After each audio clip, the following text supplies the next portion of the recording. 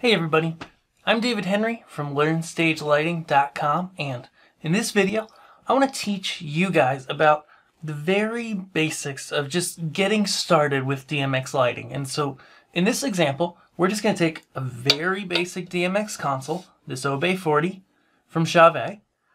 We're going to take these two cheap, no-name lights that honestly don't work very well, and we're going to make them work together. So here's how it works the first thing we want to do is get power to everything, okay? So I've already done that. I've got my console plugged in here via the wall wart power supply, and I've got my lights plugged in here as well.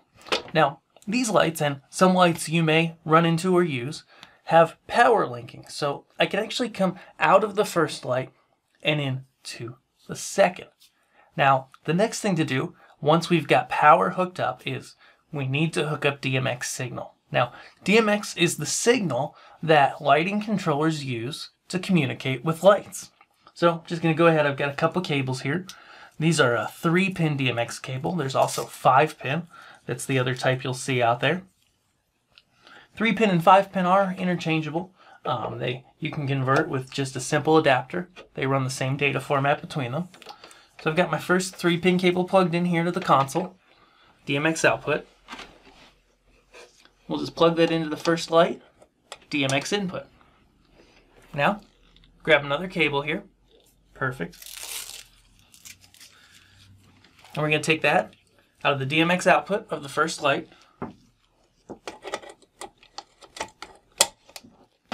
And go ahead and plug that in the DMX input of the second light. Now, there's a few things we need to do before we can actually get light out of these LED fixtures. The first thing we need to do is address our fixtures.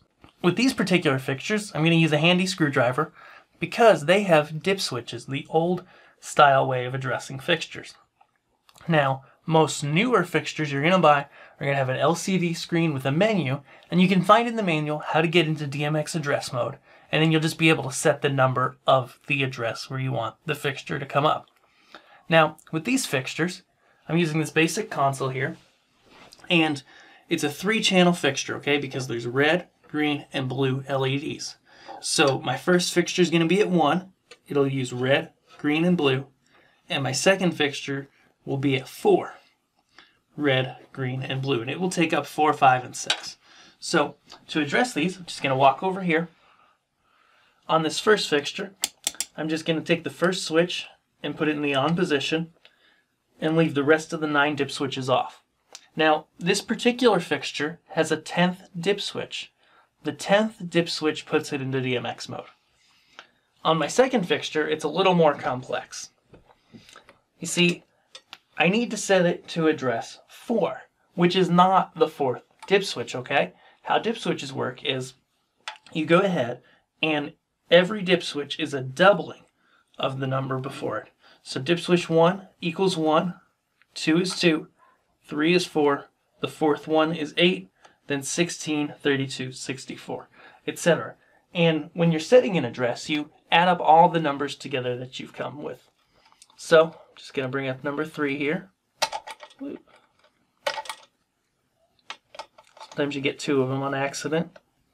That's okay, you just put them back where they were. Perfect. Now that we've got that addressed, we just need to select the first fixture on the console which is right here, and the units jump to where the faders were set. So I'm going to bring the faders down, and I can show you now that fader 1 is red on the first fixture, 2 is green, and 3 is blue.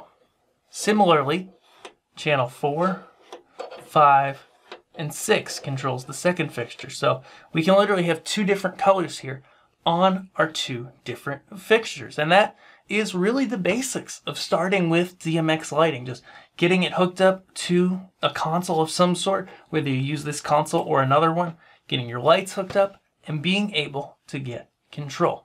So if you found this interesting and, and you are beginning with DMX lighting, I've actually got a free guide for you on how to begin with lighting in your particular circumstance. So this is guide is going to show you how to get started with lighting no matter what type of lighting you do. And it's over at learnstagelighting.com. So hop over there, click the link that's on the screen and I want to get that free guide in your hand. And I also want to get you to subscribe here on YouTube so you don't miss anything from Learn Stage Lighting.